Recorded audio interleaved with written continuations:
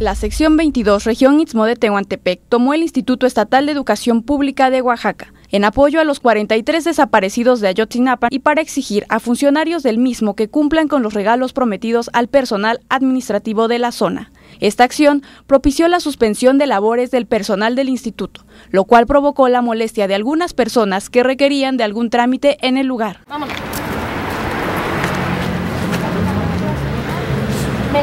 El vocero de la sección 22, Mohamed Otaki, afirmó que el personal administrativo se encontraba en mesa de diálogo con los funcionarios del IEPO. Mencionó que se espera una respuesta favorable, ya que las tabletas prometidas desde el año pasado no les fueron entregadas en tiempo y forma. Por lo tanto, exigen la entrega inmediata del material. A partir de la, de la actividad del plan del, del platón representativo que tenemos como región del Istmo, eh, y a partir de las necesidades que se tiene, de la exigencia de la entrega de, las tablets a los compañeros administrativos que prácticamente no fueron eh, entregados en tiempo y forma desde el año pasado.